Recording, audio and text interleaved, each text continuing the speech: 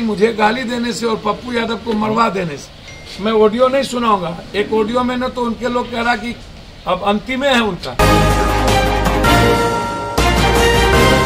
रूडी जी से जब आपने खुद करोड़ों का पैसे का लागत से शुरू हो गया। हाँ तो प्रशिक्षण की आपने ड्राइवर प्रशिक्षण केंद्र बनाया भारत सरकार के मंत्री उप मुख्यमंत्री सुशील मोदी रूडी जी खुद, सभी लोग उद्घाटन किए। तो एकलौता प्रशिक्षण केंद्र बंद क्यों हो गया? क्यों पैसा कहाँ गया? एक। दूसरी चीज़ रूडी जी से मेरा आग्रह है कि आप गाली दें हमको। राजनीति के हैं। मैं ऑडियो नहीं सुनाऊँगा। एक ऑडियो में ना तो उनके लोग कह रहा कि अब अंतिम है उनका। गाली गलोच तक है, वो ज़रूरत होगी तो मैं आपको सुना दूँगा। उनके राइट हैंड और लेफ़्ट हैंड जो है, वो गाली गलोच कर रहे हैं कहीं फ़ोन पर। जितने अभ्रम शब्दों का यदि मुझे गाली देने से और पप्पू यादव को मरवा देने से। यदि एंबुलेंस फ्री हो जाए बिहार में और दवाई और नर्सिंग होम ठीक है। तो मरवाने की ज़रूरत नहीं पड़ेगी। हम खुद ही आत्महत्या कर लेंगे। आप चिंता ना करिए। या हम ही संन्यास ले लेंगे, बिहार छोड़ देंगे, कसम खा लेंगे कि कभी हम आएँगे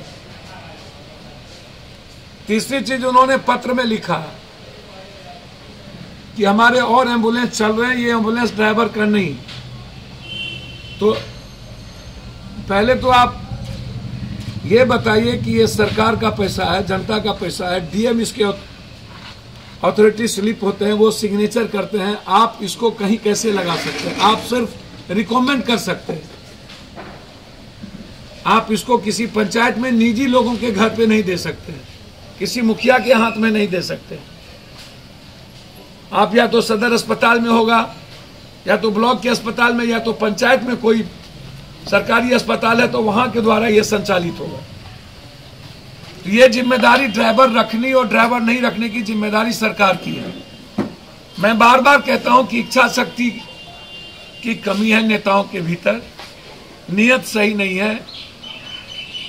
कोई प्रिंसिपल नहीं है इन नेताओं के भीतर कि कब हमको क्या करना चाहिए। जब मरने लगेंगे तो डॉक्टर की बहाली एस आर अठारह के बाद आज तक बहाली नहीं हुई। ड्राइव, ये कहते हैं कि प्रशिक्षित ड्राइवर जब लाइसेंस किसी ड्राइवर को मिलता है तो वो प्रशिक्षित हो जाता है। किस ड्राइवर को हैवी लाइसेंस की ज़रूरत है और किसको नहीं ज़रूरत है? चौथी चीज़, ये अपने ऑफ़िस में हम और अपनी बड़ी बड़ी तस्वीर लगा करके जयप्रभा अस्पताल, जहाँ सरकार का पैसा लगा, उसको इन्होंने कार्यालय बना लिया। कभी डॉक्टर और कभी एक भी वहाँ कर्मचारी नहीं रहे।